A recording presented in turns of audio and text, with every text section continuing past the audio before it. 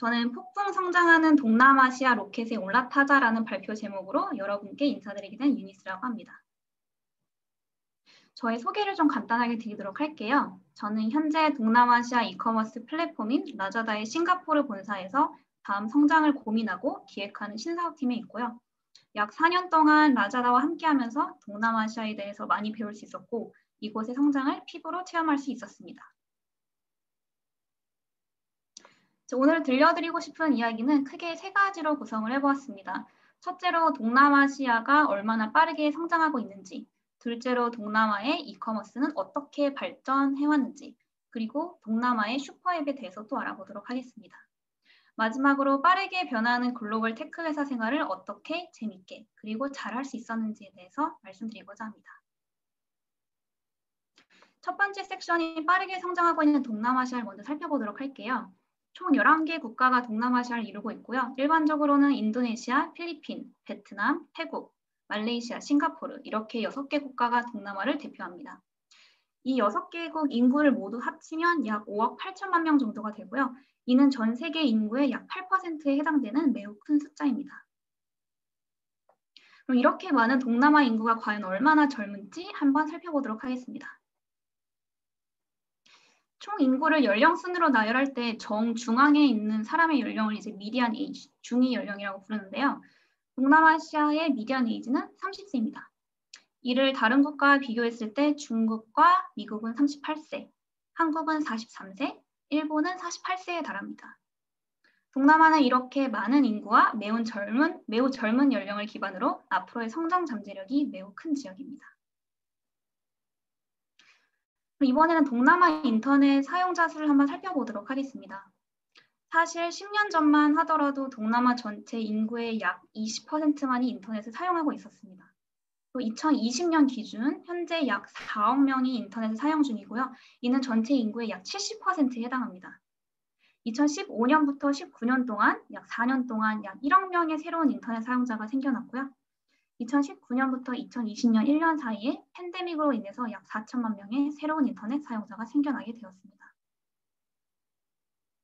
이렇게 급증하고 있는 인터넷 사용자들이 과연 얼마나 많은 시간을 인터넷에 보내고 있는지 살펴보도록 하겠습니다. 오른쪽 차트가 2019년 기준 하루 평균 모바일 인터넷 사용 시간 차트인데요. 전 세계 평균이 약 3시간 13분입니다. 전 세계 1위가 태국이고요. 하루 평균 약 5시간 13분을 인터넷에서 보내고 있습니다. 그 다음이 필리핀, 인도네시아, 말레이시아 이렇게 3개 국가가 4시간대를 보이고 있고요.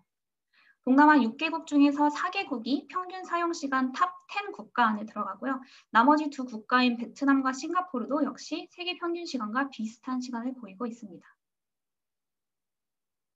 다음으로 동남아 인터넷 경제와 이커머스가 얼마나 크고 얼마나 빠르게 성장하고 있는지 알아보도록 하겠습니다. 동남아 인터넷 경제는 2020년 약 117조 원으로 2015년 대비 약 3배 정도 성장을 하였고요. 2025년도까지 또다시 3배 정도 성장하여 약 345조 원에 이를 것으로 예상되고 있습니다. 2025년도 전망치는 매해 사양 조정이 되고 있는데요. 전문가들도 그 속도를 예측하기가 힘들 정도로 동남아 인터넷 경제가 빠르게 성장하고 있다고 보시면 될 것 같습니다. 동남아 인터넷 경제는 크게 e-commerce, transport and food, online travel, online media 이렇게 네 개의 섹터로 이루어져 있고요. 이 중 e-commerce가 가장 크고 앞으로도 빠른 성장이 예상됩니다. 지금까지 이제 동남아 e-commerce가 얼마나 빨리 성장하고 있는지를 보았는데요. 이번 슬라이드에서는 e-commerce가 어떻게 발전해 왔는지를 Lazada의 예시를 통해서 살펴보도록 하겠습니다. Lazada는 현재 동남아시아 6개국에서 이커머스 플랫폼을 운영 중이고요. 저희는 2012년도에 설립되었고 처음에는 retail 모델로 시작을 했었습니다. 2013년도부터는 marketplace 모델을 도입을 했고요. 브랜드와 seller들을 모집하기 시작했습니다. Lazada 초창기에는 사람들에게 온라인으로 무엇인가를 살 수 있다는 개념 자체가 너무나도 생소했었어요. 그 전까지는 없었던 개념이기 때문이죠.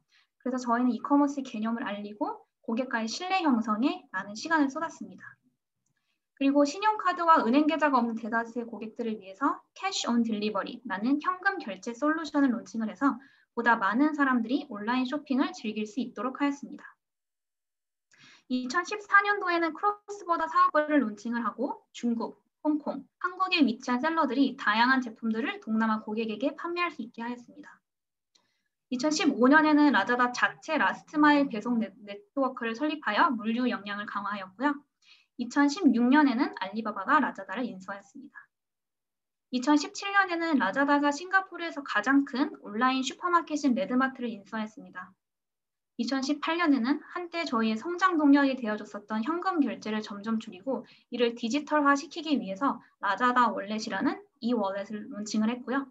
신용카드나 은행 계좌가 없으신 분들도 가까운 편의점에 가셔서 현금을 드리고 top-up을 하시고 온라인 결제를 이용할 수 있도록 도와드렸습니다. 같은 해부터 shoppertainment라는 쇼핑과 엔터테인먼트가 합쳐진 개념을 소개를 했고요. 다양한 볼거리와 즐길거리를 통해서 고객들이 오랜 시간 머물면서 재미난 쇼핑 경험을 할 수 있도록 돕고 있습니다. shoppertainment의 일환으로 Lazada live streaming과 Lazada 게임을 론칭하였습니다. live streaming을 보면서 그리고 게임을 하면서 seller와 브랜드가 주는 바우처를 획득할 수 있습니다. 이제 e-commerce의 과거를 살펴보았으니 현재로 한번 돌아보도록 하겠습니다. 아직까지도 진행형인 팬데믹이 과연 동남아에 어떤 영향을 미쳤냐라고 하면 동남아의 디지털화에 가속도를 붙였다고 말씀드릴 수 있을 것 같습니다. 팬데믹 동안 특히 동남아 이커머스는 더욱더 성장을 했습니다. 첫째, 중소기업의 온라인으로의 이동입니다. 오프라인이 완전 셧다운되고 온라인이 유일한 판매 채널이 되면서 오프라인에서만 판매하던 많은 중소기업들이 온라인 판매를 시작하였습니다. 둘째, 새로운 사용자의 증가입니다. 고객들도 마찬가지로 온라인 쇼핑이 유일한 쇼핑 채널이 되면서 2020년 동남아 이커머스의 거래액 중에 3분의 1이 새로운 고객에게서 나왔습니다. 셋째는 식료품 카테고리의 폭발적인 성장입니다. 오프라인에서 장을 보던 분들이 온라인에서 장을 보기 시작하면서 왼쪽 그래프를 보시면 노란색이 식료품 카테고리인데요. 이 비중이 2015년도 4%에서 2020년도 11%까지 늘어났습니다. 넷째, cross category의 주문 증가입니다. 예전에는 한 고객이 온라인으로는 옷을 주문하고 나머지는 다 오프라인에서 샀다고 하면 지금은 고객들이 여러 카테고리를 온라인 장바구니에 담고 있습니다. 동남아 e-commerce에서 이제 빼놓을 수 없는 이제 캠페인을 말씀드리면서 이커머스 섹션을 마무리 짓도록 하겠습니다.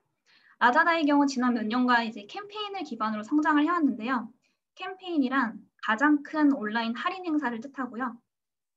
어, 정말 많은 셀러와 브랜드가 모여서 다양한 프로모션을 선보이는 이커머스 축제 기간이라고 보시면 될 것 같습니다.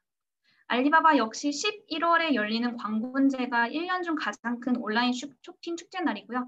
라자다 또한 이를 따라서 11월 11일이 1년 중 가장 큰 행사날입니다. 알리바바는 올해 광군제 동안 84조 원의 거래액을 기록을 했고요. 이는 작년 광군제 거래액인 42조 원의 약 2배에 달합니다.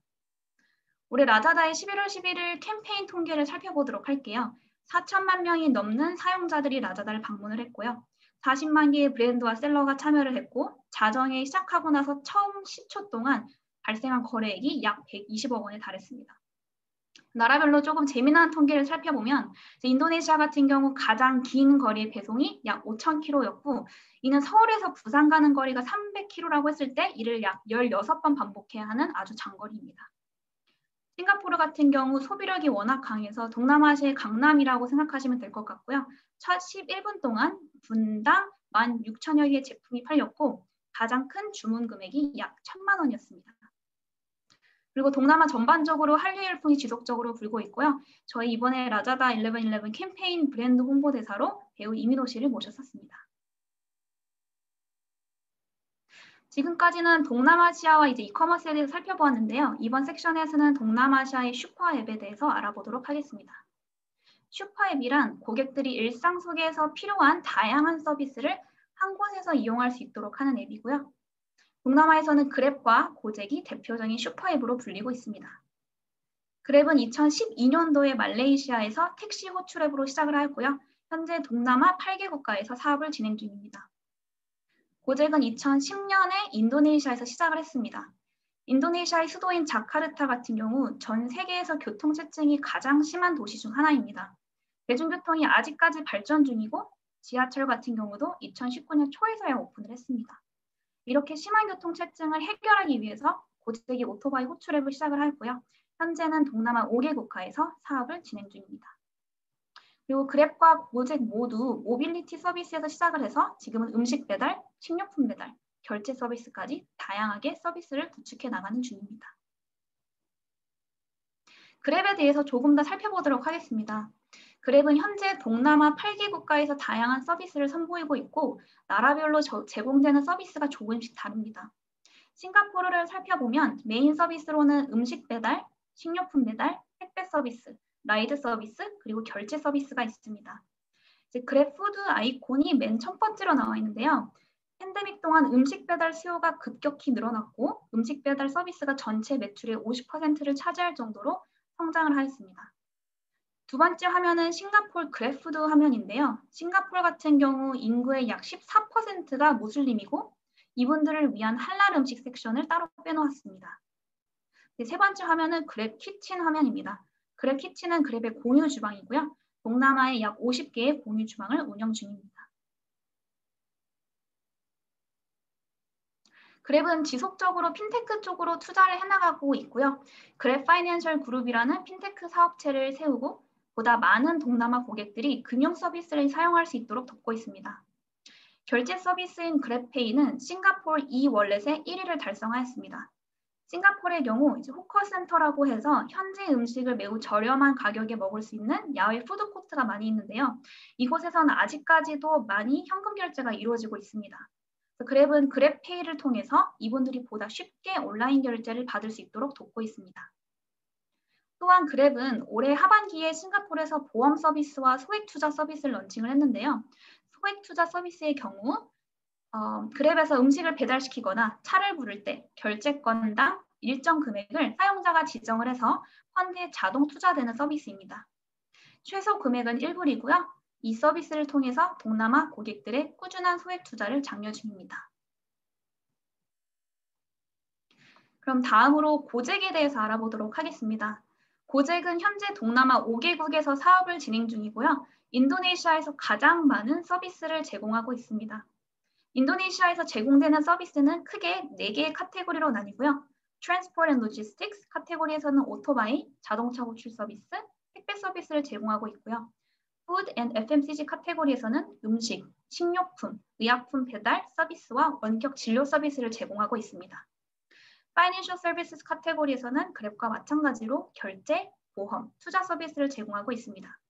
마지막으로 엔터테인먼트 카테고리에서는 영화와 드라마 스트리밍, 그리고 영화관 티켓 서비스를 제공을 하고 있습니다.